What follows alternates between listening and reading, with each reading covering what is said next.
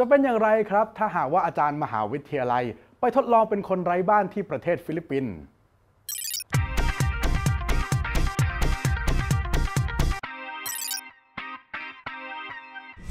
พอดแคสต์รีวิวกับรายการห้องสมุดหลังไม้วันนี้นะครับ ขอแนะนำหนังสือบ้านที่กลับไม่ได้ของบุญเลิศวิเศษปรีชา ซึ่งเป็นเรื่องราวในสมัยที่อาจารย์บุญเลิศนะครับ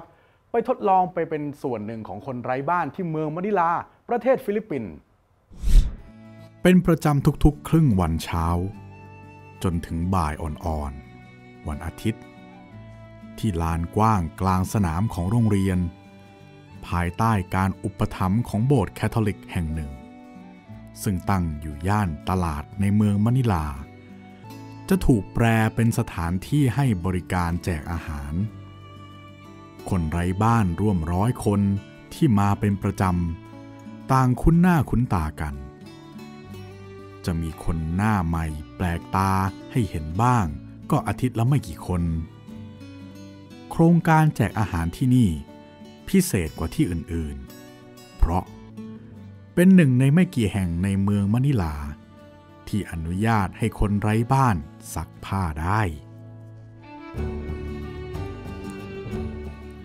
เวลาก่อนเที่ยง เป็นห่วงยามของความเรื่อยเฉย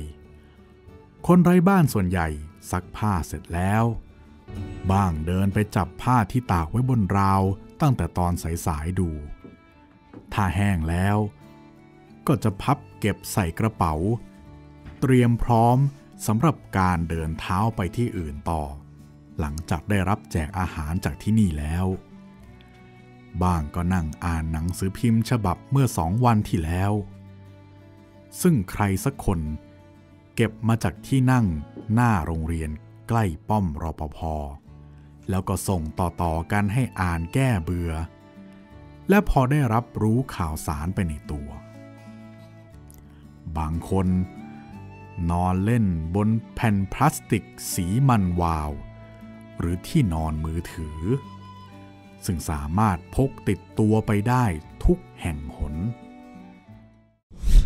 ตามฟังเรื่องราวชีวิตคนไร้บ้านของอาจารย์บุญเลิศได้นะครับ ในรายการห้องสมุดหลังไม้ตอน บ้านที่กลับไม่ได้ ทางเว็บไซต์ www.thaipbspodcast.com แอปพลิเคชัน Thai PBS Podcast ดาวน์โหลดได้ทั้งระบบ iOS แล้วก็ระบบ Android รวมทั้ง YouTube Channel Thai PBS Podcast เท่านั้นนะครับ